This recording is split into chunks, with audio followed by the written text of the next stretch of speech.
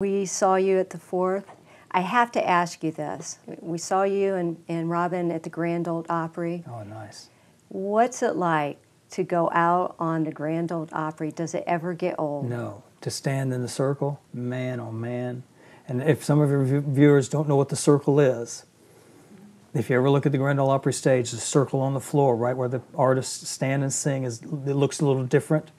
Well, that is a circle they took from the Ryman Auditorium stage and moved over to what they call the Big House, which is now, mm-hmm. of course, the Opry House.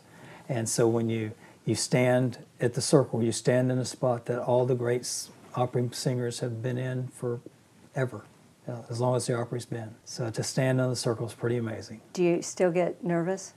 Uh, yeah, that's about the only place I get nervous at. You know, that's that's a, it's pretty nerve wracking because a lot of times you're following some great talent on that stage. It's like, I got to go out after that, you know? Well, I, I tell you, when you played the night that we were there, I mean, you had people up and they oh, just loved it, it, was just alive. It was well, so alive. You. It's always a treat. Would you take us out on a, on a song and just a, sure. a couple more verses and then, and then um, I'll close.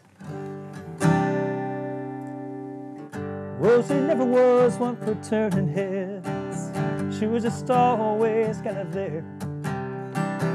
She had a few nice features, more or less. No red ribbons in her hair. But since Jesse's been coming to the diner, folks are saying that she never looked finer. She's got a different air.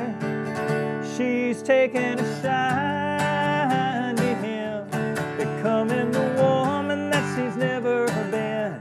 And all of the guys are wishing they hadn't been so blind. She's taking a shine to light. Now there's a sparkle in her eye.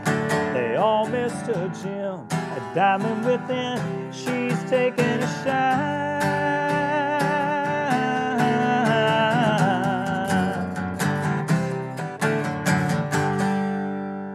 John, thank you so much. I love that song. I appreciate that. Thank you. My friend, are you facing a challenging time? I want you to know that God loves you. He's faithful. His love is amazing. Take His hand. Walk the journey with Him. He won't lead you astray so that you can share your story of unshakable faith with others that will give Him honor and glory. This is today's Nashville.